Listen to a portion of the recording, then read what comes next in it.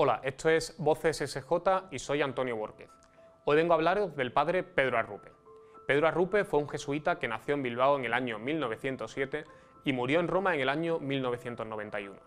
Después de su tiempo de formación, fue enviado como misionero al Japón. Allí vivió la Segunda Guerra Mundial y la bomba atómica de Hiroshima como maestro de novicios.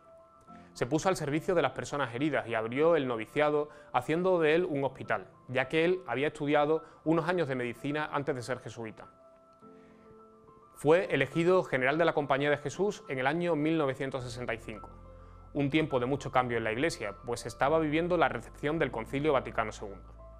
Fue un hombre de oración, íntimamente unido a Dios y a Jesucristo, con una gran devoción por la Eucaristía. Eso le permitió ser un hombre abierto al mundo, con los ojos mirando a la realidad que le rodeaba.